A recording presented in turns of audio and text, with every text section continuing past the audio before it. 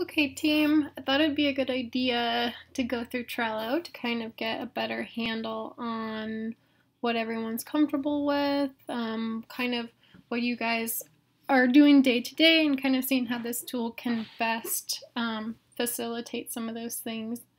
Um, and if you're already comfortable with Trello, feel free to ignore, but I thought this would be nice to have in a back pocket type situation. Um, so the way that it works, as some of you have already seen, is you have like the to-do column, you have the progress column, and then you have the reviewed, confirmed in meeting column. So each one of these little cards is a task, and you can move them over kind of like a project flow. So that's very like top line.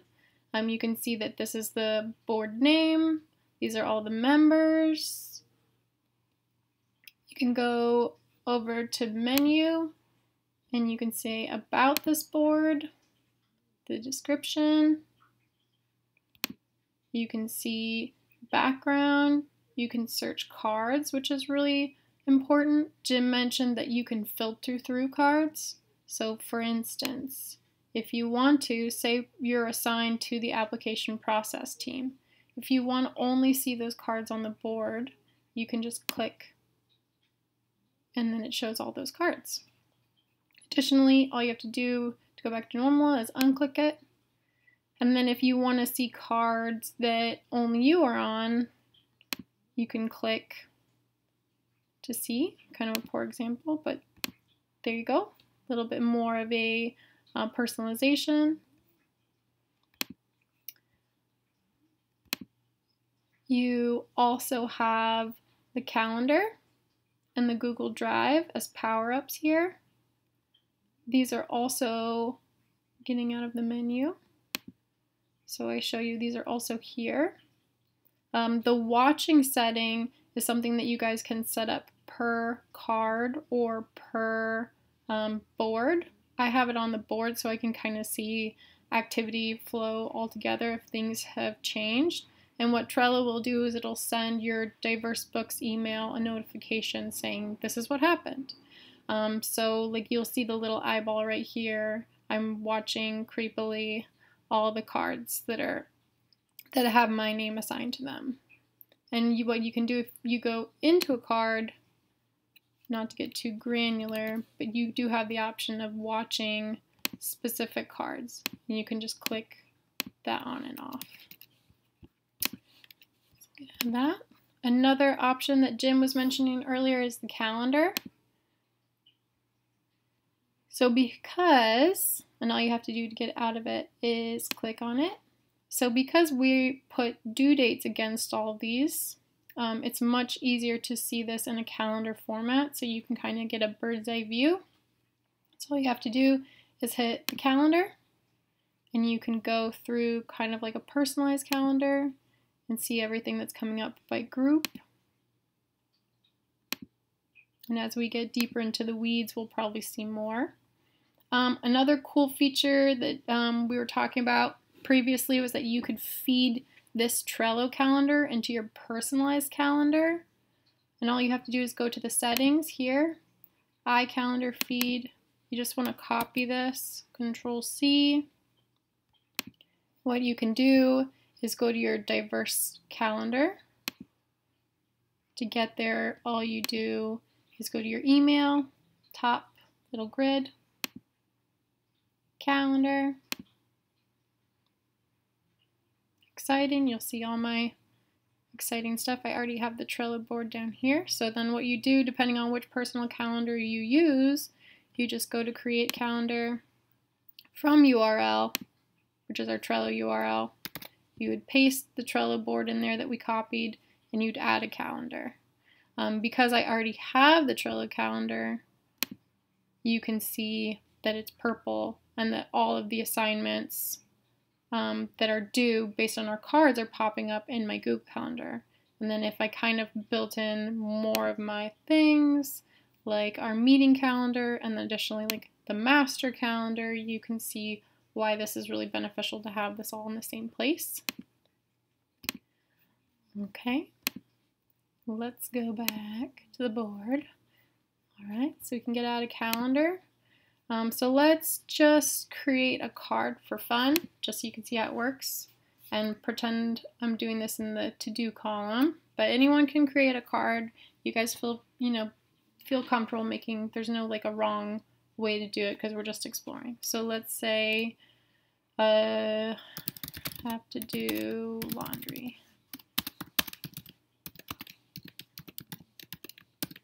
So add a card. You can then go into this card and there are all these different options. So you can add a description, have to do laundry before I go to work on Monday. Save. Um, you can also comment. So you can at different people. Let's say I'm adding myself. I say, hey,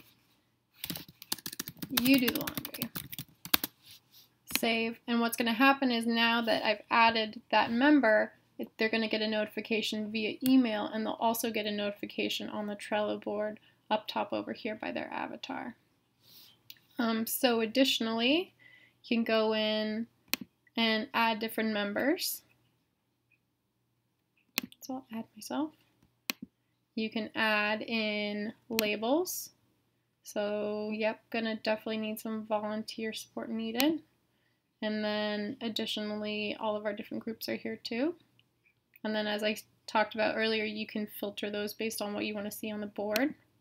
Uh, checklists, which I think are pretty cool. For example, what to fold. Add. And then you can say socks. Add. You could say shirts. Add. You could say pants. Add.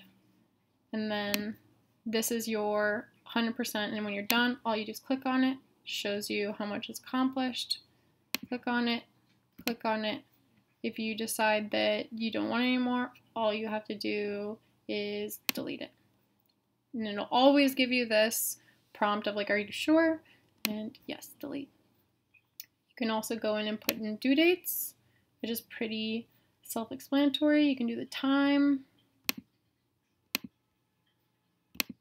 go through the months. Also, you can add attachments from your desktop, from Google Drive, Dropbox, however you guys store things, you can add attachments here. And I also recently added in the Google Drive so that you can sync your We Need Diverse Drive if you guys want to. If it's easier, you can also just use your personal drive and attach um, documents. But um, you can attach folders and files and that makes things a little bit easier if you're trying to find them. Additionally, if you don't want to watch a card anymore, if you're like, I'm getting too many notifications, not that big of a deal, big of a deal, you can unwatch it. And then to delete cards, all you have to do is go to the archive section. It'll give you an option to do delete. And then again, that prompt, are you sure you want to delete it? Yes, I want to delete it. Okay, so that's basically the gist of kind of the Trello board. If you guys um, saw, I also kind of created a little database of important documents. There's a little Trello tutorial if you decide you need another one. Kind of our Zoom link information and also our contact list. I just kind of put them all in the description so everyone could get a hang of things. Um, our drive link, if you guys want to save it to your desktop, and then also to uh, the walkthrough from the retreat. And as you go down, you'll kind of see more and more. Um, for instance, Linda Sue, we added this card because we thought it was really important to have this list of publishers as something that everyone had access to all the time because we were going to be doing a lot of outreach come January. And these are our little comment sections. So yeah, you can see, um, don't be afraid, show menu, go in there, look at all the different options. If you want to copy the board, print the board, um, the link to the board at the bottom so you can save it as a bookmark um, and you can customize as you see fit. And yeah, I think that's it for now. Um, of course, I think we're going to go over a lot of this stuff too at our meeting on the second, just so everyone's pretty comfortable. Um, but I thought I would send this out in advance just so that everyone has this in their back pocket.